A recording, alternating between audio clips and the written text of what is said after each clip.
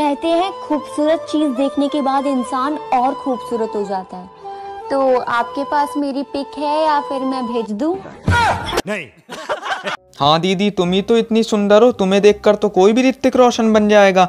नहीं सारे खूबसूरत लोग तुम्हें देखकर ही तो सुंदर बने हैं नहीं तो उनकी भी शक्ल इस कुत्ते जैसी थी। हेलो गाइज़ नीरोस वीडियो डाल दिए गाइज़ तो नीचे वाला सब्सक्राइब बटन दबाओ और चैनल पे जाके वो वीडियो देखो गाइज़ लाइक करना मत भूलना सब्सक्राइब करना मत भूलना। जाओ गाइज़ जल्दी जाओ बहुत मज़ेदार वीडियो है।